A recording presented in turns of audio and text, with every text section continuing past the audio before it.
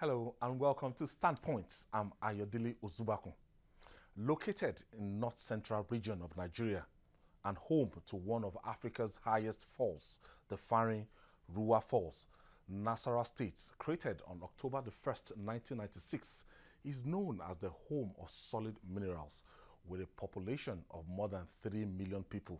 The state is blessed with various minerals such as salts, biotex, bauxite, and agriculture as the mainstay of its economy. Nasarawa State Governor Umaru Tanko Al-Makura, ahead of his exit from office on the 29th of May, is putting mechanisms in place for a smooth transition of power. As he bows out of office, he has earned himself the name, the architect of modern Nasarawa states. With me in the studio to discuss Nasarawa politics and the scorecard of Almakura administration is Yakubu Lamai. Yakubu Lamai is the Director General of Strategic Communication and Press Affairs to Governor Tanko Almakura. Nice to have you, Yakub. Thank you, Ayo. It's, The it's last a time we were in to Ekiti here. together, in where Ekiti. His, His Excellency was all over the place and he conducted a successful primary and you remember Progressive it's, Congress. uh, with the APC Congress in Ekiti, it's Yes. um, it was something else. 33 aspirants Yes. vying to become governor. and, And, you Tanko Amakura was able to s- sort them out. At the end of the day, they had a candidate, Yeah. and the candidate went ahead to win the election. That's um, Dr. Kayode Fayemi. yeah, thank you so very Such much. a Herculean task you followed His Excellency there. And let's look at, you know, in 2010, while campaigning for office Yes. of the governor of Nasarawa State, Amakura published a book, you know, My Covenant with the People of Nasarawa State. Yes. Hmm. Where he stated that if elected as the governor, all his activities will be centered on improving life of the common man by focusing on education, equipping people with such skills in agricultural production and rural change. Looking back, eight years after, hmm. how much change has Tanko Al-Makura been able, you know, to impact that he earned him the tag of the architect of modern Nasarawa State? Well, thank you so very much, Ayo, for having me in the studio. Um, in 2010, which is even a, a year before The 2011 2011 elections. elections, Umaru Tanko Al-Makura was a rank outsider because he, you know, there was actually an incumbent, a sitting governor, in person of uh, Alhaji Ali Akwe Doma, who was the governor and who was going to vie for naturally a second term in office. But then um, Umaru Tanko Al-Makura was pained. He felt that there was a complete and total absence of infrastructure in Nasarawa State at that particular time in 2010 2011 there was no one, and I actually mean one, single asphalt graded road that was constructed by the state government of Nasarawa State. In the that- whole of In the whole of State. There was no traffic light. The people of Nasarawa State did not know anything about using traffic lights. All you would see are motorbikes, you know, and lots of accidents and so on. The public schools were in a state of derelict. And as far as I'm concerned, what the facts of history show us then was that there wasn't what Umaru Tanko Al-Makura would eventually create called the Ta'al model schools, which were story buildings, you know, as public primary schools for, for, for, for you know, for, for students of, of poor uh, peoples of poor parents. You know, so at that particular time, what constituted itself as Nasarawa State with 13 local government areas was a rural conclave, enclave that actually had very bountiful potentials because it had solid minerals. But then there was stagnancy in government, there was inertia. You know, the government wasn't propelled and wasn't moving forward. And because of this lack of basic infrastructure, roads, hospitals, schools, Umaru Tanko Al-Makura, who was a real estate developer residing in Abuja and a you know, citizen and elder of Nasarawa State, felt moved. And he said, look, he needed, he was spurred to contest for office. And that was when he did that little pamphlet called My Covenant with the People of Nasarawa State. Umaru Tanko Al-Makura, you know, in that little book, what I always remember is at the end of everything he said, it ended with the rider, for the sake of Nasarawa State. He, you know, said, look, there was the need to turn these barren conditions of no roads, no hospitals, no schools, no e-libraries, all of these needed to be harnessed and you know there was the need for a very huge turnaround. So he contested and luckily and historically as it would be, he became the first ever person to actually unseat a sitting governor. He, he, he won the elections in uh, October 2011. Now, before he did, he actually had what they call the Ta'al think tank, which was his think tank of the campaign team that really studied the peculiarities of the environment of Nasarawa State, what was lacking in infrastructure, and what he even termed mental infrastructure of the people, because he felt even the psyche needed to be, you know, sort of rejigged, so mm. to speak. Paradigm shift. Between that time and now, why he has earned the label of the architect of modern Nasarawa State is that within a tenure of eight years, he's been able to transform and move Nasarawa State from what it was then. No asphalt graded road, not even one constructed by the only trunk A, grade A trunk road was the one constructed by the federal government. He has now constructed over 1,000 kilometers of road all across the state. 1,000 kilometers five kilometers he started within every of the local government areas. These, the, you know, Lafia, the capital city, which did not have traffic lights and now has what you call a very modern look. In Karu, only recently, last week, he uh, commissioned or inaugurated what we call the smart street lights. You know, these are street lights that had three components embedded in one. They would provide lighting, they would also give CCTV, um, CCTV mm. uh, you know, coverage for security, apart from the illumination, and it would also give you Wi-Fi for the surrounding communities in really? Karu. Absolutely. so what has happened between 2011 to 2019 in Nasarawa State is a transformation. So you, going, you, can be going on the streets and, and you can actually, if you just simply subscribe to the Wi-Fi. But it's just started now. What has it has just started? It is not. It just started in Karu right now, but he has already set up the prototype. He has introduced um, digital land administration through what is called the Nasarawa Geographic Information Service, NAGIS. The GI it gives you everything: aerial view of every settlement in the state, and then therefore he's been able to cultivate planned cities. And these are the basis upon which you can actually create whatever basis of development you want.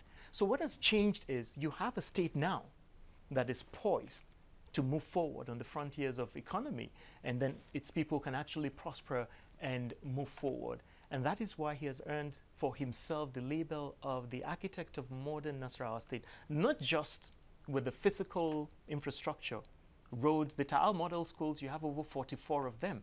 There's story buildings all across every local government area in the state. You know, every high institution in Nasarawa state, the governor has either created hostels for them, in, in fact, including, he particularly almost took over the Federal University in Lafia, which is owned by the federal government, and even a private university, Bingham University, in, uh, in Karu, which is a Christian faith-based university. Al-Makura even, you know, actually made road for them right into the school. So what has happened is transformation that puts uh, the state on the pedestal of economic advancement. And then the psyche of the people is such that when he came in 2010, 2011, he found a government that was um, feudalistic as far as I'm concerned you know, at that time, things like digital land administration was not there. So when Nasarawa State, you mentioned it was created in 1996. Now, when they came, when Nasarawa State started in 1996, in that same year, only 310 people were granted, you know, CFOs, CFO. you know, mm. certificates to, to. But then between 27, to, uh, uh, 2007 and 2011, when he won the election, there was a huge breakdown, a stagnancy in the delivery of um, land certificates. It had to do with how connected you were with government. Who did you know? Only 24 CFOs were given in Nasarawa State between 20, um, uh, 2007 to uh, 2011. Hmm. Now, when he came, he demystified it because in 2012, his budget, what he was able to accrue from just, you know, digital land administration was over 34 million. But two years later, just two years later, he was able to gain for Nasarawa State over 600 million naira from the sale of land because he used that as a resource where he can galvanize the economy. So you see all of these indices more CFOs. more CFOs because you have digital land administration, you have NAGIS, you have geographic information service, you have aerial mapping of every settlement. So you know your land, you know where it is. Why was there too much poverty in Nasarawa State between 2007 to 2011? Because I was coming to that, that in all this, was it just, you know, infrastructure that they kept, you know, uh, building? How has he empowered the people of Nasarawa State? Can they look back in the last eight years Yeah. and say that, look, Al Makura has dealt a fatal blow on poverty? Has he created enjoy- employment? Has he, you know, uh, um, invested on human capital You know, um, development? Umaru Tanko Al-Makura is seen across this country as somebody who is a worthy advocate, you know, for people living with disabilities. He's seen uh, the chairman of the APC, Comrade Adams Osho- Oshiomhole, says of um, the governor of Nasarawa State that when you see Umaru Tanko Al-Makura, he demystifies the aura of authority because he has this common man look you know, he is so in touch with the people. He's either adopting offerings on the street or he is going to the basic needs of the common man. Now, what are the basic needs of the common man? Between 27 and 2011, if you didn't have CFOs, for instance, you can't go to the banks.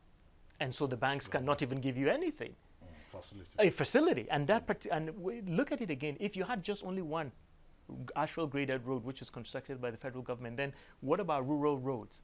How do the farmers actually move their farm produce from their villages to come and even sell? When you say Nasarawa state is within the food basket is an agrarian state where 80% of the citizens are farmers yet they don't have roads to move their tomatoes their cashew and everything into the City capital centers. cities so he tackled that headlong he did not just build the roads in the city or the capital or the major senatorial districts of Lafia, Akwanga, you know, and, um, and Keffi. No, he went to every local government area and made sure they had that. Open it opened up.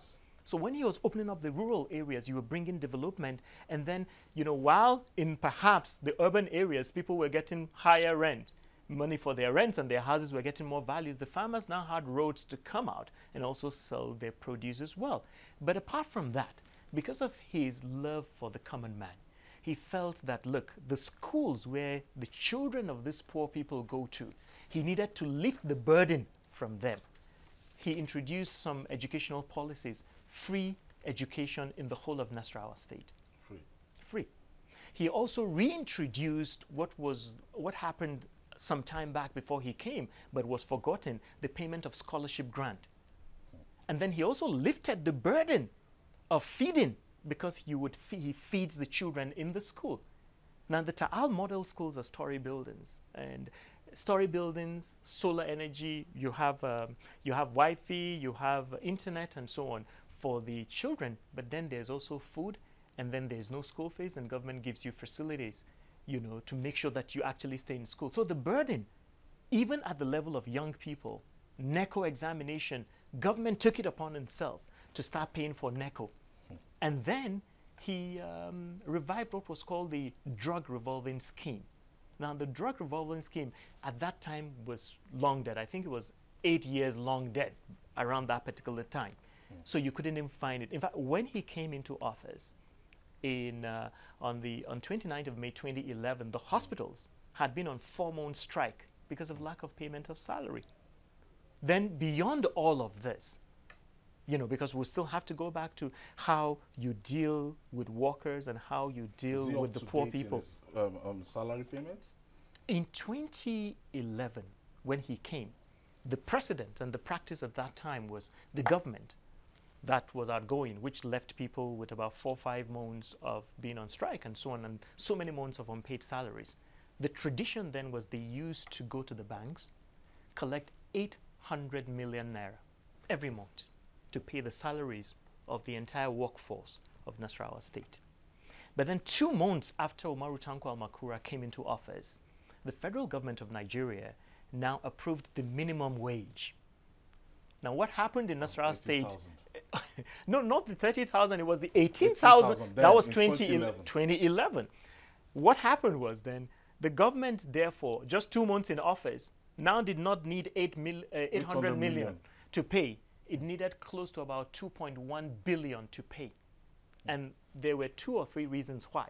Number one, the minimum wage law says that you should actually increase those who were at the rock bottom and they mm. should not go below 18,000. Mm. In Nasarawa State, Umaru Tanko Makura made it 18,900. But then beyond that, the rate of increment is not supposed to be across board. But in Nasarawa State, they did across board, which meant a director that was earning 41,000 naira suddenly began to earn 200 and about 56,000 naira as salary. It was quadrupled, and that meant that he needed to look for all of that extra shortfall and moved it from 800 million to the. For five years, five years non-stop, between 2011 to 2015, Umaru Tanko Makura paid his salaries month after month, non-stop as it went due. What happened after five years? After five years, 2015, 2016, if you remember when the economic recession set Okay. in and there was this huge drop in the, uh, the accrued and so on, what was coming accruing as federal allocation to the states dropped hugely. January 16, 2016, Umaru Tanko Makura assembled the entire state, stakeholders, elders, and called them to a meeting where he said, look, let's talk about our minimum wage because there's recession in the country and it is nationwide. It's not just affecting Nasarawa State, but I needed all of us, including labor, to find a way to tinker with what we have. And that was when, between that period, that has been resolved anyway, but between that period, they had to share, there was a policy that was brought out to say, okay, what we have is what we'll be able to give.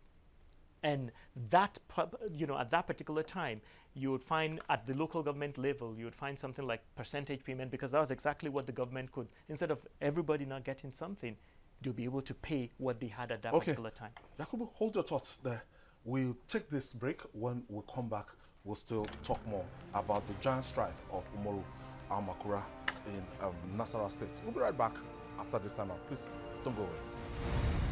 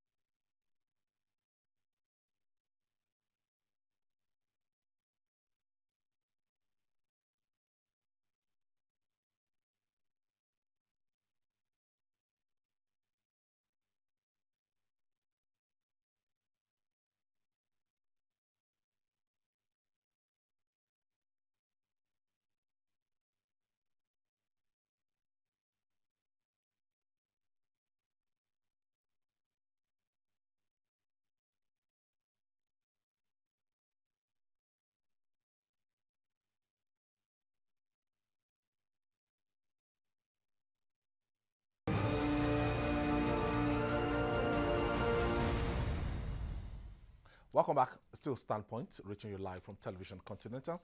And I'm with the Director General of Strategic Communications and Public Affairs to Governor Umaru Tanko Amakura. That's the governor of Nasarawa State.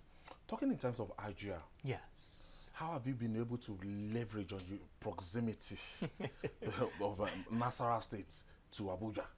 You know, you know, um, the proximity is supposed to be a gold mine. Yeah. Umaru Tanko Al-Makura was a real estate developer before he became governor, and he was residing in Abuja. So he knew, look, with real estate, with roads and everything, Nasrau, first of all, Abuja itself, you and I know, was created when 1976, and at that time, Abuja just had 120,000 people as a citizen, citizens. Hmm. It was 848 villages that were that comprised the Federal Capital Territory. Hmm. But 30 years later, uh, 2006, I believe, Abuja's population had grown to 176,000. So the increase was of over 650,000 people had moved, gravitated towards Abuja. The thing that happens is they all move to Abuja to work in Abuja, but they live in Nasarawa State. They live in Karu Access. They live in Nyanya. They live in Mararaba. So all In fact- those areas, they're Abuja. It's Nyanya, Nasarawa. Karu, Abida, uh, Na- Nasarawa. yo, you, when you get to, I'm almost speaking Hausa to you. When you get to Nyanya and Maraba, when Maraba in Hausa means the point of demarcation. From then onwards, you're dealing with Nasarawa State. The facilities are overtaxed. If you take the entire budget of the state government of Nasarawa State and plow it into Karu, you'll not even be able to solve uh, Karu's problems. Umaru Tanko Al-Makura had that particular place in his mind before he became governor. He articulated it, he talked about it consistently because he felt that that access can be likened to Maryland in America. The relationship between Maryland mm. and Washington, D.C.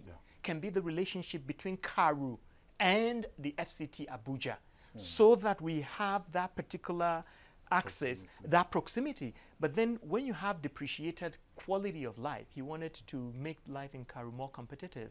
What he did was he plowed a lot of resources.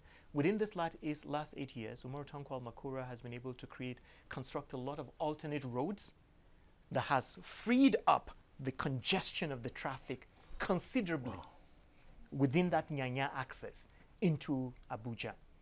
He's been able to create markets, including the mega market called the Muhammadu Buhari International Market. It's one of the biggest in West Africa. So that all those traders who actually, you know, just make sure that place is congested and build up on the traffic and actually move to these particular places. Let's look at security. All right. Has been a big challenge.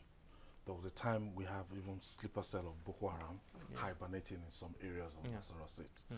There was a time, there was another time, bandits. You guys had your own fair share. Yeah. And anytime there's the wave of violence, Nasarawa State comes to mind. How have you been able to deal with this, the state of insecurity in Nasarawa State? in 2013, um, there was the Ombatse, the, you know, when the over 70 security personnel were killed, guys, DSS guys. In fact, the very first assignment to Tanko Makura did, May 29, 2011, when he became governor, was to attend a security council meeting because of farmers' headers crisis. And you're also aware Since that time. since that time, you're also aware recently, some time back, when you know the governor of Benue State accused Nasarawa State that oh, people were coming in from Tunga and then attacking, you know, uh, headers and so on, attacking farmers and recoiling. All of that has been nipped in the bud. Umaru Tanko Al Makura's panacea has been multifaceted. One, you have the community-based conflict resolution mechanism. That's one that has worked for us. Community-based conflict resolution makes sure that the crisis is dealt within the community because it is outside influence that infiltrate and just, you know, make sure these things have the, the, the scale of growing bigger than that. But beyond that, all the security forces have been given maximum there's support by the government of Kuala Makura. There's, there's an Air Force, you know, uh, helipad for aerial survey.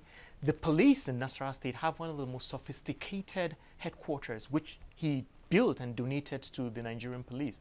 The DSS is supported, the road safety, the EFCC, the ICPC, and continually giving up vehicles as well.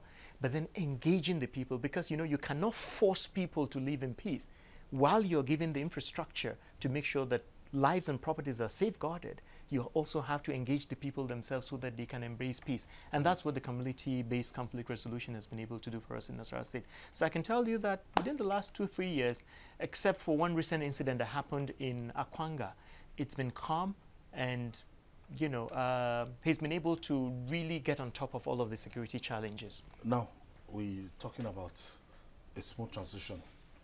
Um, his party, somebody from the party who won the election. Yes. What's, what's his name again? Uh, Engineer A.A. Sule. Okay. He- yes. So, because there's always this thing that when a new man Comes comes, in. to the saddle, there's a tendency to abandon the projects, ongoing projects that the old person might want to be a man of his own and everything. It's a Nigerian thing. yeah, yeah. So, what and what have you put in place? Are you sure that those lofty projects you've described, you've talked about, Will be carried on. abandoned, will be carried over? 11 uh, aspirants contested under the APC to become governor. Umaru Tanko Makura embraced all of them, but he told them he needed time to study their pedigree, their experience, their worldview. And he finally settled on Engineer A.A. Sule. When he proclaimed, even if subtly, that he was supporting Engineer A.A. Sule, a lot of people felt, you know, but then we carried on. He's been able to engage everybody. There's been reconciliation up till this point where Engineer A.A. Sule has won the governorship. The reasons why uh, Umaru Tanko Makura selected Engineer A. Sule is that Engineer A. Sule was at one time the CEO and managing director of AP, Afri African Petroleum. And when he did that in 2011, I mean, 2001, between 2001 and 2006, he was made the MD and he met AP, African Petroleum, with uh, a debt of about 22 million. But when he walked to do a turnaround, when he was leaving after five years, mm. through prudence and experience in management, he was able to put, uh, he was able to leave AP with about 5 billion you know, profit. That's so one. we have a guarantee now? We do have a guarantee. The gentleman in question and the governor have been working steadily. The governor has not just been given what you call the documentary kind of uh, uh, handover note. He's been taking him to every project site. The best that you can do is what Umaru Tanko Makura has been able to do for the state. And he's chosen somebody whom he feels would carry on the legacies. And like would always say, for the sake of Nasarawa State, as it now, we don't have any doubt that with the party and with the caliber of the person that would take over from him, the good works of the architect of modern Nasarawa State, Umaru Tanko Makura, will be consolidated and carried on.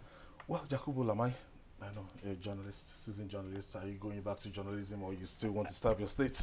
I'm, I'm, you know, I was so I was so impressed with TVC. Maybe I should come and actually apply when we leave office in, in, work in TVC. When we leave office in 12, 12, 12 I think 12 days or thereabout. Okay. But, but um, you know, the future is bright, and there's so much to do. I want to wish you the best of luck. Thank you Yakubu so very Lamai, much. Director General Strategic Communication and Press Affairs to Governor Tanko uh, Makura. And that's our package today on Standpoint. Thank you so much for watching. Remember, you can watch the repeats of this edition today by 7.30 p.m. and tomorrow by 7, 8.30 a.m. I'm Ayodele Ozugbakun. Enjoy the rest of your weekend. Thank you so much.